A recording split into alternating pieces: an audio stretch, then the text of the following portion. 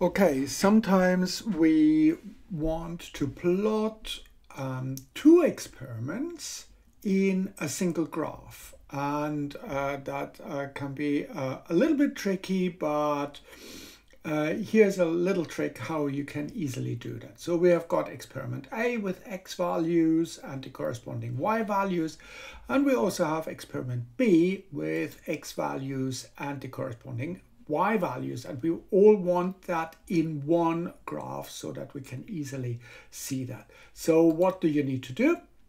Uh, just simply copy with the left mouse click pressed, copy for example experiment B. So copy and we pass that, uh, paste that straight into the previous uh, one. So like this one. And what we need to do now is we have to move the y values into a different column. So the x values we keep, the y values we move into the next column and the, the easiest way to do that is we move the mouse cursor until we see this hand or fist thingy so just keep the left mouse button pressed and move it, move the columns so that they are nicely into another uh, column here. And of course we need to be, uh, we need to keep track of which data are from which experiment. So what we can do is we can say, we call this Y from A and we call the next one here, y from b. So it looks a little bit weird with these blank cells, but don't worry about that uh, because Excel will ignore it. So what we can do now is we just simply highlight the whole thing like that with the left mouse button pressed.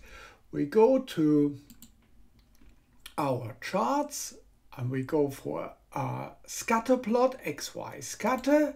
This one here, we go for the dots, just simply the dots.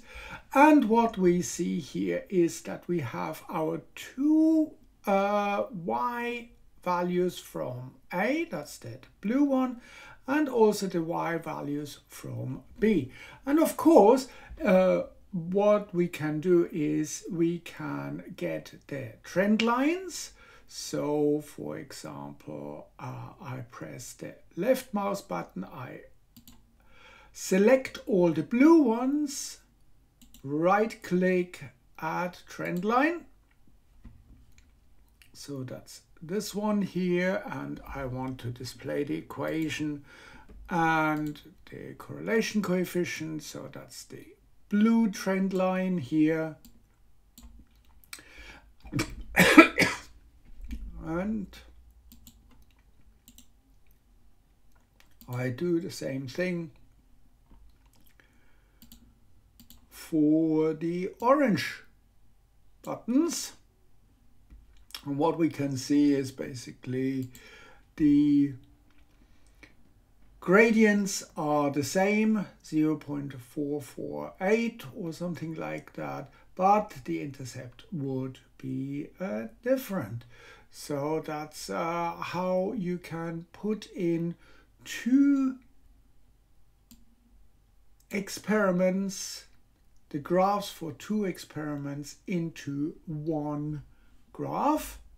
It's very easy and it's not restricted just to two experiments, experiment A and B. You can basically have as many as you like, although if you have got more than four or five, then it gets a little bit wild and the graph uh, doesn't tell you uh, a lot. But uh, that's an easy way to combine two graphs. So I hope this makes sense and thank you for watching.